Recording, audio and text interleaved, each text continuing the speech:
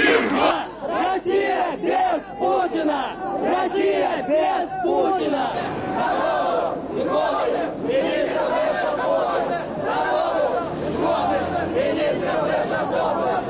Наше имя Эдуард Лимонов! Наше имя Эдуард Лимонов! А кто-то вообще занимался пропагандой, агитацией э, национал-большевистской партии, вот, э, Эти кадры сделаны в ночь на 8 июня возле здания прокуратуры Ленинского района Челябинска. Группа молодых людей, одетых в маски и капюшоны, заходят во двор. Они достают бутылки с зажигательной смесью.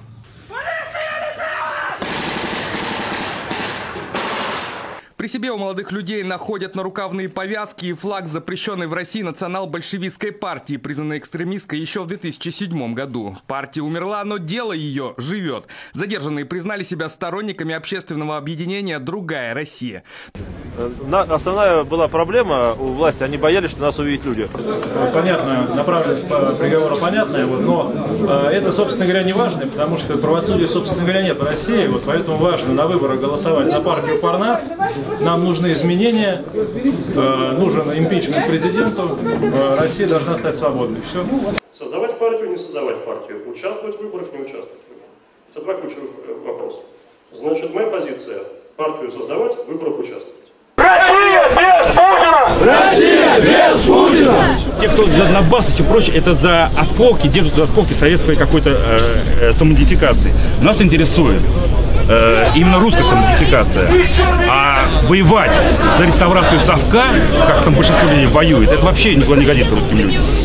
У нас своих забот хватает. Я сейчас только что разговаривал с Дмитрием Демушкиным, который находится э, в, э, в Вологде на очной ставке по придуманному обвинению.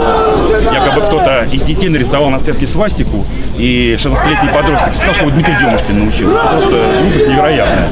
Что вы можете посоветовать, как вот э, действительно э, реальный боец правого сектора, э, что вы можете посоветовать и пожелать российской оппозиции? Ну, я вам скажу, що не треба боятися, і що все їхнє майбутнє в їхніх руках. Що все це повинні знати. А не, ніхто не прийде і їм все це все не зробить. Вони повинні самі собі своє майбутнє своїми руками будувати. Поборемося ще. Росія буде в руїнах. Слава Україні! Героям слава! Слава нації! Смерть дорога! Україна! Понад усе!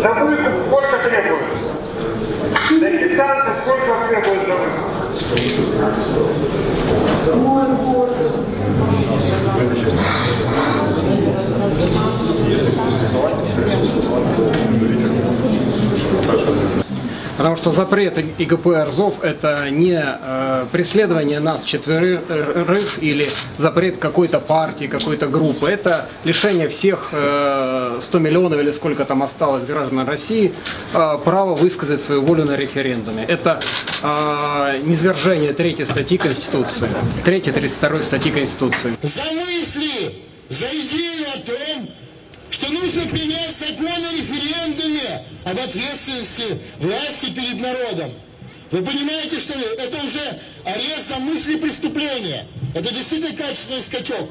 И если не сопротивляться, то завтра будут хватать каждого из нас, каждого, кто не хочет покорно идти как стадо.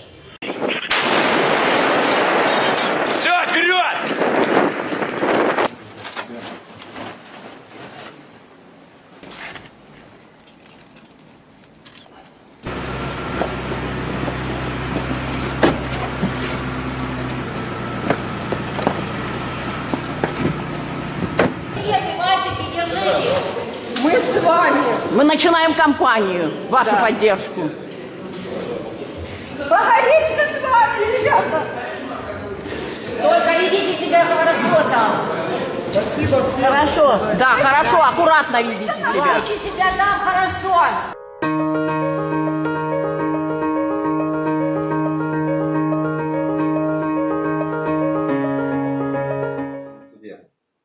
Мы не боимся, что наш голос ничего не изменит. Мы уверены, изменения уже происходят. Но многие считают, что их голос ничего не даст. И этим себя успокаивают. Многие считают, что если хотеть чего-то большего для страны, для народа своего, или для себя лично, как гражданина, то станет еще хуже. Что если пойти против системы, то эта система тебя сломает.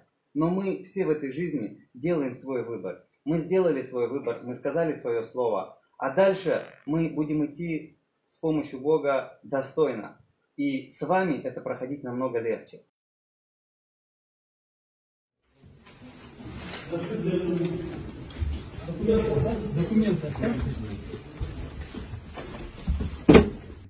Документов, подтверждающих финансово-хозяйственную деятельность указанной экстремистской организации.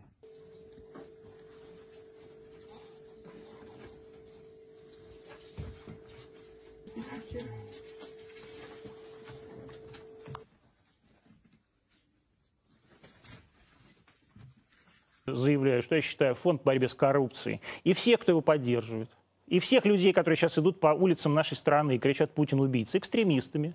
И считаю, что с вами, со всеми, надо разбираться согласно а, Уголовному кодексу, который подразумевает а, определенные действия. То есть если вас всех, вот прям вот эту вот незначительную толпу дебилов, которые идут и кричат «Путин убийца», сейчас посадят лет на пять в кресты, никто не пожалеет. Все будут только рады. Страна вздохнет свободно, если вас на улицах нашей страны будет поменьше.